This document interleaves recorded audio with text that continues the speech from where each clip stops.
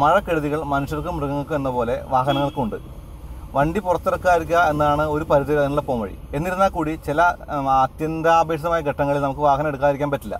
അപ്പം നമുക്ക് ചെയ്യാനുള്ളത് വരുന്ന ഡാമേജുകൾ എങ്ങനെ പരിഹരിക്കാം എന്നുള്ള ഒരു ബാക്കപ്പ് പ്ലാൻ ഉണ്ടാക്കി എന്നുള്ളതാണ്. അപ്പോൾ ഇൻഷുറൻസ് എടുക്കുമ്പോൾ എന്തായാലും നാച്ചുറൽ കലാമിറ്റി കവറേജ് എടുക്കണം എന്നാണ് എനിക്ക് ആദ്യമായിട്ട് പറയാനുള്ളത്.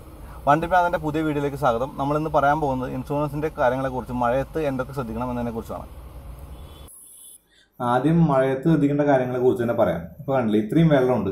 ഇത്രയും വെള്ളം എന്ന് പറയുമ്പോൾ എയറിന്റെക്ക് താഴത്തായിട്ടുള്ള വണ്ടികൾക്കാണെങ്കിൽ ഇത് തന്നെ ഹാംഫുൾ ആണ്. അപ്പോൾ നമ്മൾ ഇത്രയും വെള്ളത്തിലും പരമാവധി ഓടിക്കാതിരിക്കുക. പകരം വേറെ റൂട്ട് തിരഞ്ഞെടുത്ത് പോകുക എന്നുള്ളതാണ് എനിക്ക് പറയാനുള്ളത്. കാരണം എപ്പോഴും നമ്മൾ റിസ്ക് എടുക്കേണ്ട കാര്യമില്ല. ബി സേഫ് ദാൻ സോറി എന്നാണ്. അത് ശ്രദ്ധിക്കുക. പിന്നെ വെള്ളത്തിൽ കൂടെ പോയേ പറ്റുമെങ്കിൽ ലോ ഗിയറിൽ പരമാവധി ആക്സിഡന്റ് ചവിട്ടി പിടിച്ച് വണ്ടി ഓഫ് ആവാത്ത വിധത്തിൽ അതങ്ങ് വാട്ടർ വെയ്ഡ് ചെയ്യണം. അങ്ങനെ ഓഫായി കഴിഞ്ഞാൽ എഞ്ചിനിലേക്ക് എസ് എസോസ്റ്റ് വഴിയും വെള്ളം കയറാനുള്ള ചാൻസ് ഉണ്ട്.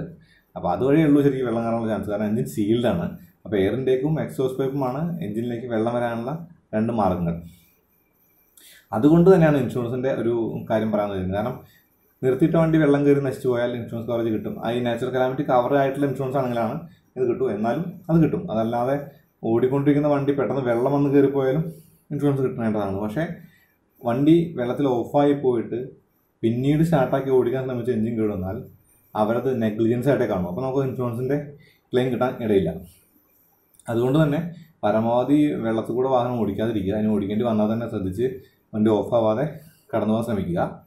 പിന്നെ ഇനി അഥവാ വണ്ടി നിന്ന് പോയാൽ സ്റ്റാർട്ടാക്കാൻ ശ്രമിക്കാതിരിക്കുക.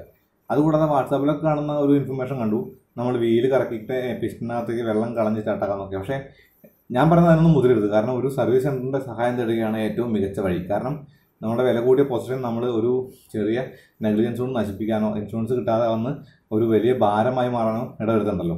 സർവീസ് സെന്റർ വിളിച്ച ഒന്ന് അവരെ ഒന്ന് ചിലപ്പോൾ കെട്ടിവെച്ച് കൊണ്ടുകൊണ്ട് വരുമായിരിക്കും. എന്നാൽ കൂടി അധികം പോക്കറ്റിന് ഡാമേജ് ഇല്ലാതെ അവർക്ക് നേരാക്കി തരാൻ പറ്റും. പക്ഷേ നമ്മൾ സ്റ്റാർട്ട് ചെയ്യാൻ ശ്രമിച്ച് സ്റ്റാർട്ട് ചെയ്ത് പിസ്റ്റിനകത്തൊക്കെ വെള്ളം കയറി പിന്നെ എഞ്ചിൻ ഡാമേജ് ആയി കഴിഞ്ഞാൽ ചിലപ്പോൾ നമ്മൾ വിചാരിക്കുന്ന ചിലതിന് അത് നിന്നോളുന്നില്ല അതുകൊണ്ട് എപ്പോഴും വെള്ളത്തിൽ നിന്ന് പോയാൽ ഒരു മെക്കാനിക്കിന്റെ സഹായം തരണം എന്ന് തന്നെയാണ് പറയാനുള്ളത്.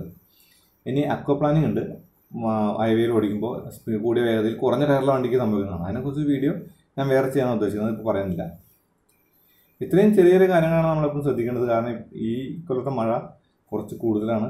വെള്ളക്കെട്ടുകൾ ഒരുപാടുണ്ട്. ഉരുൾപൊട്ടലുണ്ട് അപകടങ്ങൾ ഉണ്ടായിട്ടുണ്ട്. ശ്രദ്ധിച്ച് വണ്ടി ഓടിക്കണമെന്നാണ് പറയാനുള്ളത്. അതേപോലെ ഈ വീഡിയോ ഉപകാരപ്പെട്ടു എന്ന് കരുതുന്നു. ഉപയോഗപ്പെട്ടെങ്കിൽ ചാനൽ സബ്സ്ക്രൈബ് ചെയ്യാൻ മറക്കരുത്. അങ്ങനെയാണെങ്കിൽ അടുത്ത വീഡിയോ മിസ്സാവില്ല അടുത്ത വീഡിയോയിൽ വീണ്ടും കാണാം. നന്ദി.